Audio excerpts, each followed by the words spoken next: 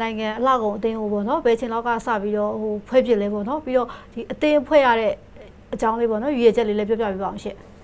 ဦးတို့ဒီဗမာနိုင်ငံအလောက်ကိုအသင်းကိုပေါ့နော်ဟုတ်ပြီး2015 6လပိုင်းမှာဦးတို့ကတရားဝင်ပေါ့ဟုတ်နော်တရားဝင်ဦးတို့ကစပြီးတော့ဖွဲ့စည်းလိုက်ပါတယ်ဟုတ်ဖွဲ့စည်းလိုက်တယ်ပေါ့နော်ဒါဦးတို့ရဲ့ဒီအသင်းရဲ့ဒီရည်ရွယ်ချက်ပေါ့နော်ရည်ရွယ်ချက်ကတော့ဦးတို့ကဒီထုတ်လုပ်တဲ့လူနောက်ပြီးတော့ဦးတို့တင်သွင်းရောင်းချတဲ့လူတွေ နောက်ပြီးတော့သုံးဆွဲတဲ့လူတွေပေါ့နော်ဒီအလောက်ကိုနဲ့ပတ်သက်ပြီးတော့အဲ့ဒီအားလုံးရဲ့အကျိုးစီးပွားကိုကာကွယ်ဖို့ပေါ့နော်ဟုတ်ကဲ့အဲ့ဒီရည်ရွယ်ချက်ကတော့အဲ့ဒါတွေကတော့အဓိကပေါ့ဟုတ်ကဲ့ပါရှင်ဟုတ်အဲ့တော့အလှကုန်ဆိုတဲ့နေရာမှာဟိုဘယ်လိုမျိုးဘယ်လိုပစ္စည်းတွေကိုဟိုအကျုံးဝင်လဲပေါ့နော်ဘယ်လိုပစ္စည်းမျိုးတွေသတ်မှတ်ထားလဲရှင့်အလှကုန်ဆိုတော့ဗောနော်ဟုတ်ဦးတို့ဒီဟိုလူတစ်ယောက်ကကိုယ့်ရဲ့ခန္ဓာကိုယ်ပြင်ပဗောနော်ဟုတ်ကဲ့ဒီအရာတွေမှာဟိုသုံးဆွဲတဲ့ကိုယ့်ခန္ဓာကိုယ်လှပဖို့အတွက်အထောက်အကူဖြစ်တဲ့ ပစ္စည်းပေါ့ရေဘူးကအပြင်ပြောရင်အဲအဲ့ဒီမှာမှအဲဘယ်ဟာလဲပါသေးလဲဆိုတော့ဦးတို့ဥပါဗောနော်အမဂရင်းဆိုရင်လည်းဒီဂရင်းတန့်ရှင်းအောင်ဗောနော်အမဘယ်လိုခေါ်မလဲအမသွားတိုက်ရတယ်သွားတိုက်တဲ့အခါကျရင်အမသွားတိုက်စီရှိမယ်စသဖြင့်ဗောနော်အဲအဲ့ဒါလည်းဒီအလှကုန်ထဲမှာတော့အကျုံးဝင်ပါတယ်ဟုတ်ကဲ့ပါရှင်အဲ့တော့ဒီအလှကုန်ဦးတို့အသင်းပေါ့နော်ဖွဲ့ပြီးပြီဆိုတဲ့ခါမှာရောတခြားဥမာဟိုနိုင်ငံတွေနဲ့ပေါ့နော်ဘယ်လိုချိတ်ဆက်ပြီးတော့လှုပ်ဆောင်တာမျိုးရှိလဲဒီအသင်းဟိုတိုးတက်အောင်ပေါ့နော်ဘယ်လိုလှုပ်ဆောင်တာမျိုးတွေရှိလဲရှင်အသင်းရဲ့လှုပ်ဆောင်ချက်လေးတွေပေါ့ ဦးတို့ဒီအသင်းရဲ့ဒီလှုပ်ဆောင်ချက်အနေနဲ့ပြောလို့ရှိရင်ပေါ့နော်ပြီးခဲ့တဲ့ဦးတို့ဒီနှစ်လသုံးလလောက်က ASEAN Cosmetic Association ပေါ့အဲ့ဒီကနေပြီးတော့လာပါတယ်လာပြီးတော့သူတို့ဒီပေါ့နော်ဗမာနိုင်ငံမှာအခုနကပြောရဲပေါ့နော်ဒီအလှကုန်နေရဲ့ဟိုမှာပေါ့နော်မထုတ်လုပ်မှုနဲ့ထုတ်လုပ်မှုဆိုင်ရင်ဆိုင်ညွှန်းပေါ့အဲ့အဲ့ဒါနဲ့ပတ်သက်တဲ့ဟာတွေအလှကုန်နဲ့ပတ်သက်တဲ့ဒီထုတ်လုပ်တဲ့အခါမှာတည်တင်တည်တိုက်တဲ့ဟာတွေအဲ့အဲ့ဒါတွေကိုတော့ဒီ ASEAN က ACA ကပေါ့နော်ဒီဥက္ကဋ္ဌကနေပြီးတော့ သူကိုယ်တိုင်လာရောက်ပြီးတော့ရှင်းလင်းသွားတဲ့ပွဲလေးဦးတို့လုပ်ခဲ့ပါတယ်။နောက်ပြီးတော့ဦးတို့ဒီဘယ်လိုခေါ်မလဲဦးတို့ဒီအသင်းအနေနဲ့ကတော့အခုအချိန်မှာပေါ့နော်ဦးတို့ကဟိုသက်ဆိုင်ရာအဖွဲ့အစည်းတွေဦးတို့နဲ့ပတ်သက်နိုင်တဲ့အဖွဲ့အစည်းတွေကိုတော့ဦးတို့ကလိုက်ပြီးတော့အခုအချိန်မှာဟိုပေါ့နော်ဦးတို့လိုက်ပြီးတော့ဦးတို့အဖွဲ့နဲ့ပါဝင်ပူးပေါင်းဖို့ဦးတို့ဟိုလိုက်လံပြီးတော့ဦးတို့စီယုံဆောင်ရွက်နေပါတယ်။ဟုတ်ဥပမာနမူနာအပြင်ပြောလို့ရှိရင်တော့ဒီအခုနကပြောရဲပေါ့နော်ဟိုအကောက်ခွန်ဟာဟာဌာနလိုဟာမျိုးဟုတ်ကဲ့ပေါ့နော် အဲအဲ့ဒါမျိုးဟာမျိုးပေါ့ဒီလိုဟာမျိုးတွေရှိမယ်နောက်ပြီးတော့ဥတို့ဒီဟိုလွတ်တော်အမတ်တွေပါမယ်စသဖြင့်ပေါ့အဲ့လိုလူမျိုးတွေကိုဥတို့ကလိုက်ပြီးတော့ဥတို့စီယုံလာတာပေါ့ဟုတ်ကဲ့နောက်ပြီးတော့ဥတို့ရဲ့ဒီဟိုအလောက်ကိုအသင်းအနေနဲ့ပေါ့နော်ဒီဥတို့မှာလည်းနာယကတွေရှိတယ်အဲ့တော့အဲ့ဒီနာယကတွေထဲမှာလည်းဥတို့ကအခုဒီဒီ MRTV4 ကဥတို့ပေါ့နော် Forever Group က ဥတို့ဒီဒေါခင်လေးကိုလည်းဥတို့ကနာယကအဖြစ်ကမ်းလှမ်းလာတယ်သူလည်းလက်ခံထားပါတယ်ဟုတ်ဆိုတော့ဒါမှလည်းဥတို့ကသမီးတို့လိုမီဒီယာမျိုးတွေရှိမှလည်းဥတို့ကဥတို့အခုနအလိုပေါ့နော်အလောက်ကိုနဲ့ပတ်သက်ပြီးပြည်သူတွေကိုဥတို့အသိပေးခြင်းတဲ့ဟာတွေကိုဥတို့ကအသိပေးလို့ ရမယ်ဆိုတော့လေဆိုတော့သူတို့ရင်းတို့လိုပူပေါင်းလှုပ်ဆောင်ထားမျိုးရှိတယ်ပေါ့ရှိနော်ပါတယ်ဟုတ်ကဲ့ဟုတ်ကဲ့ဆိုတော့အဲ့ဒီကိစ္စတွေကိုဥတို့ကအရင်ဆုံးဥတို့ကလိုက်လုပ်နေပါတယ်ဟုတ်ကဲ့ရှင်ဟုတ်ခုနကဦးပြောသွားတယ်မှာဥမာအကောက်ခွန်နဲ့ဟိုပူပေါင်းပြီးတော့လှုပ်ဆောင်တာမျိုးပေါ့နော်အဲ့လိုမျိုးရှိနေဆိုတော့ဒီဥတို့အသင်းနေနဲ့ကောဒီလို FDA နဲ့ပူပေါင်းပြီးတော့ဥမာဒီအလှကုန်ပစ္စည်းတွေကိုအရေးသွေးမိမမီလို့နော်ဟိုပါဝင်ပစ္စည်းတွေကမှန်မှန်မှန်တို့အဲ့လိုစစ်ဆေးတာမျိုးတွေရောဟိုလှုပ်ဆောင်မှုရှိလားဦးအဲအဲ့ဒါကြတော့ဟုတ်ဘယ်လိုခေါ်မလဲဆိုတော့လေအခုဒီဥတို့ ဒီအစားအသောက်နဲ့ဆေးဝါးကုကဲရေးဌာနကပေါ့ဟုတ်နော်ကဲ့ဟိုဒေါက်တာဦးတန်းထုတ်ကနေပြီးတော့သူကနေပြီးတော့အလှကုန်ကွန်ရက်ဆိုပြီးတော့သူဖွဲ့ထားတယ်ပေါ့နော်ဟုတ်မကဲ့ဆေးဝါးကွန်ရက်ရှိမယ်ပေါ့နော်ဒီဒီအလှကုန်ကွန်ရက်ရှိမယ်ဟုတ်ပေါ့နော်အစားအသောက်ဆိုလည်းအစားအသောက်ကွန်ရက်ရှိမယ်ဆိုတော့ဒီအလှကုန်ကွန်ရက်မှာတော့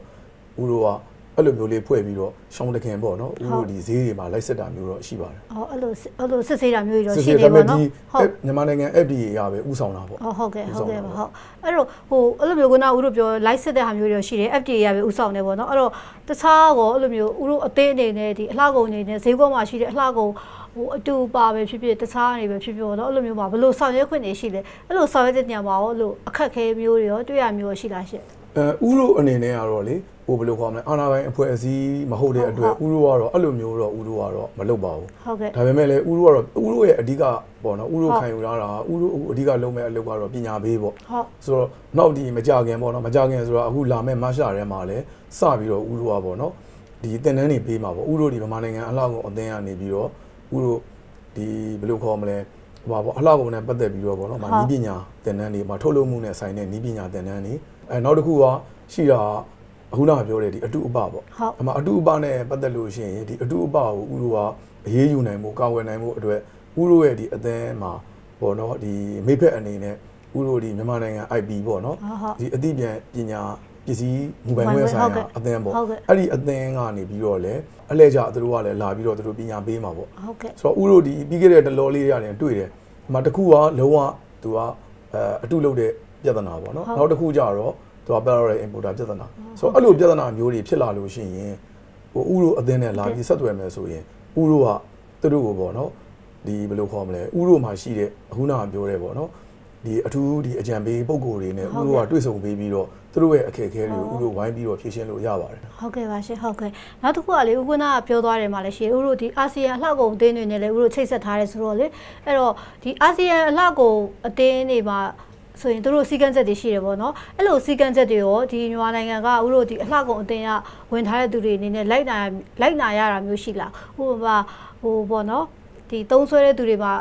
ပြဿနာဖြစ်လို့ရှိရင်ကိုယ့်ရဲ့ပစ္စည်းပေါ်တာဝန်ယူရတဲ့ဟာမျိုးတွေပါတယ်အဲ့လိုမျိုးစီကန်းချက်တွေကိုလိုက်နာရတာမျိုးရောရှိလားရှင့်အင်းသူကတော့ပေါ့နော်သတ်မှတ်ထားတဲ့ဟာပေါ့ဟုတ်ကဲ့သတ်မှတ်ထားတဲ့ဟာကရှိပါတယ်ဒီအာဆီယံနေပြီးတော့ပေါ့နော်ဒီဟို ဘယ်လိုခေါ်မလဲသူ့ရဲ့စံညုံစံညုံနဲ့အဟုတ်ညီကဲ့လိုက်နာရမယ်စီကံပေါ့ဟုတ်ဥရောကတော့ဗာလဲဆိုတော့ ACD နဲ့ ACD ပေါ့နော်ဟုတ်ဟုတ်အဲအဲ့ဒီကောင်ကိုပေါ့နော်ဟုတ်ဒီ ASEAN Cosmetic ဒီ directive ပေါ့ဟုတ်နော်ဆိုတော့အဲ့ဒီရဲ့ညွှန်ကြားချက်အတိုင်းသူကလိုက်နာရပါမယ်ဟုတ်ကဲ့ဆိုတော့အဲ့ဒီဟာတွေနဲ့ပတ်သက်ပြီးတော့လေအခုနဥရောပြောရဲပေါ့နော်ဥရောရဲ့ဒီ Facebook page ထဲမှာဟုတ်ကဲ့ဥရောတင်ပေးထားပါတယ်တင်ပေးထားဟုတ်ကဲ့တင်ပေးထားပါတယ်လက်ရှိကိုတင်ပေးထားပါတယ်ဟုတ်ကဲ့ရှင်ဟုတ်ဥအဲ့လိုဟာမျိုးကိုလိုက်နာရမယ်ပေါ့နော်ဒါကအလှကုန်ဥတို့မြန်မာနိုင်ငံအလှကုန်အသေးဝင်မဟုတ်ရတဲ့လူလေလိုက်နာရမယ်ပေါ့ ဒါပေါ့မြန်မာနိုင်ငံအလောက်ကိုအသင်းမှာ तू ကအလောက်ကိုလုပ်ငန်းလုပ်တယ်တို့တော့ဥတို့ရဲ့အသင်းမှာလာမဝင်သေးဘူးမဝင်သေးပေမဲ့လည်း तू ကတော့လိုက်နာရမှာပါပဲဟုတ်ကဲ့ဟုတ်ကဲ့လိုက်နာရမှာလိုက်နာပါဘောနော်ဒါပေမဲ့အဲ့လိုအဲ့လိုမျိုးပြက်ကွက်ခဲ့လို့ရှိရင်ကရောသူ့ရဲ့တက်ရောက်မှုကဘယ်လိုရှိနိုင်လဲဦးဥရောဒီအစောပိုင်းမှာဟိုနာဥရောဆွေးနွေးခဲ့တယ်လို့ပေါ့ဟုတ်သူကပြဿနာကဗမာနိုင်ငံမှာဥပဒေအားနည်းမှုနဲ့တရားဥပဒေစိုးမိုးမှုပေါ့အဲ့ဒီနှစ်ခုကပေါ့နော်ရှိနေတဲ့အတွက်ပေါ့နော်အဲ့ဒီအရေးယူမဲ့ဘက်မှာအားနည်းနေတာပေါ့ အမှန်ကတော့တကယ်တမ်းပြောရင်ပေါ့နော် तू ကမဖြစ်မနေလိုက်နာရမယ်ကိစ္စပါဟုတ်ကဲ့ဘာလဲဆိုတော့ဥပမာဗမာနိုင်ငံမှာအလှကုန်ထုတ်လုပ်တဲ့သူတော်၎င်းပေါ့နော်အဒီအလှကုန်ကိုတင်သွင်းတဲ့သူတော်၎င်းဒီမြန်မာနိုင်ငံဒီပေါ့နော်ဒီ FDA ကိုသူကမှတ်ပုံမှတ်ပုံတင်ဖို့ပေါ့ဒီတင်သွင်းတဲ့လူတွေဆိုလို့ရှိရင်မှတ်ပုံတင်ဖို့သူကပြက်ကွက်လို့မရပါဘူးဒါမဖြစ်မနေသူလိုက်နာရမယ်အစည်းကမ်းပါဒါပေမဲ့ပေါ့နော်ဒီအလှဟိုတင်သွင်းတဲ့လူတချို့ကသူတို့ကမလိုက်နာကြဘူးပေါ့မလိုက်နာဘဲနဲ့လာပြီးတော့သူ ဟိုနေပေါ့နော်မှတ်ဒီမှတ်တမ်းတင်ဖို့အတွက်လာ report မလုပ်ကြတဲ့အခါကျတော့ဟုတ်ကဲ့ဒီလက်ရှိအလောက်ကုန်ဈေးကွက်တွေထဲမှာ FDA approve မဖြစ်ထားတဲ့အလောက်ကုန်တစ်စိတ်တွေအများကြီးဖြစ်နေပါဟုတ်ကဲ့ register ပဲလုပ်တယ် FDA အတိမတ်ပြုမလုပ်ထားဘူးမှန်ပါတယ်နော်မှန်ပါတယ်ဟုတ်ကဲ့အဲ့လိုအလှကုန်မျိုးတွေကိုရောဟိုဘယ်လိုလှုပ်ဆောင်သွားဖို့ရှိလဲဦးအဲ့ဒါကဟုတ်အခုနကဦးတို့ဟိုပြောသလိုပါပဲဒီအရေးကြီးတာကတော့လေဘာလဲဆိုတော့ဒီအရေးယူနိုင်တဲ့ဟုတ်တရားဥပတေဒေအဲတရားဥပဒေ အရေးနံပါတ်1ကသူကပေါ့နော်အရေးယူနိုင်တဲ့ဥပဒေဥပဒေဟုတ်ဟိုဘယ်လိုခေါ်အားကောင်းမှုလိုပါတယ်ဟုတ်နံကဲ့ပါတ်1ကပေါ့နော်ဟိုနံပါတ်2အချက်ကတော့သူကဟိုဘယ်လိုခေါ်မလဲတရားဥပဒေစိုးမိုးမှုပေါ့ဟုတ်နော်ဒီဥပဒေတော့ပြဋ္ဌာန်းပြီးပြီပြဋ္ဌာန်းပြီးရင်ပြဋ္ဌာန်းပြီးတဲ့အတိုင်းတိတိကျကျလိုက်နာကျင့်သုံးဖို့တိတိကျကျဟိုပေါ့နော်လိုက်နာကျင့်သုံးဖို့ဟုတ်ပေါ့အဲ့တော့တနေ့ကျလိုက်နာကျင့်သုံးမယ်ဆိုရင်အဲ့လိုမျိုးဖြစ်လာပြီဆိုရင်တော့အလောက်ကိုပေါ့နော်ဒီတင်သွင်းတဲ့လူတွေထုတ်လုပ်တဲ့လူတွေအနေနဲ့သူတို့မဖြစ်မနေဘူးသူတို့လိုက်နာကြရမှာပါဟုတ်တော့မလိုက်နာရင်တော့သူတို့ကအပြစ်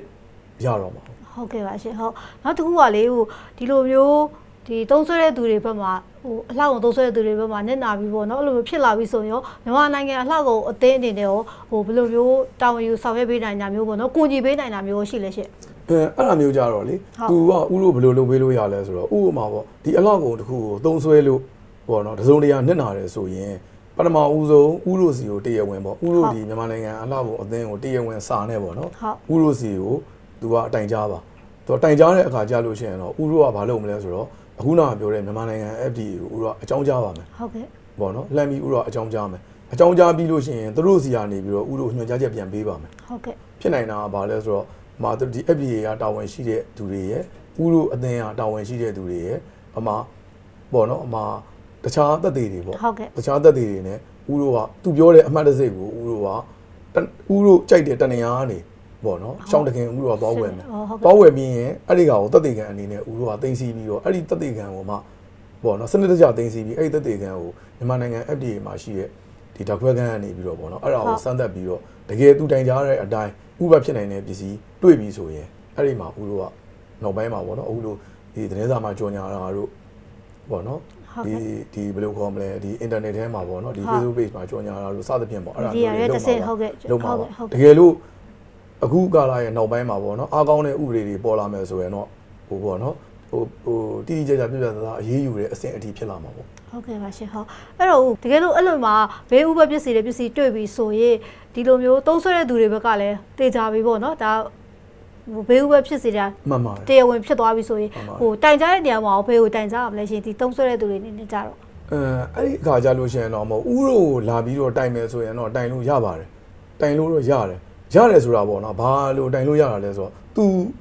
သူကမလုတ်တက်မကင်နဲ့ဖြစ်နေတယ်ဆိုရင်ဒါဥရိုကိုသူကလာတိုင်တယ်ဆိုရင်တိုင်လို့ရတယ်။တိုင်ရင်ဥရိုကဘာလုပ်ပေးမလဲဆိုတော့ဥရိုမှာဥပဒေအကြံပေးတွေရှိတယ်။ဆိုတော့ဥရိုရဲ့ဒီဥပဒေအကြံပေးတွေနဲ့ဥကသူတို့နဲ့တွေ့ပေးမယ်။တွေ့ပေးပြီးရင်သူတို့ကိုလက်ရှိဗမာနိုင်ငံမှာ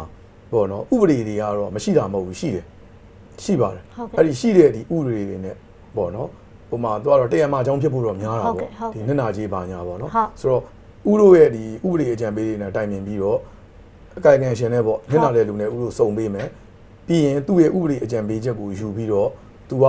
ဘယ်လိုလုပ်ဆောင်တရားဆွဲလို့တရားဆွဲလို့ရတာပေါ့နော်ဟုတ်ကဲ့ပါရတာဟုတ်ကဲ့ပါရှင်ဩဒါဆိုရင်နင်နာတဲ့သူတွေနေနဲ့ဦးလို့ရှိကတစ်ဆင့်လာပြီးတော့ဟိုအကြံဉာဏ်တောင်းကူညီပေးလို့ရတယ်ပေါ့နော်ရပါတယ်ဟုတ်ကဲ့ပါရရှင်ပါတယ်ဟုတ်ကဲ့ပါဟုတ်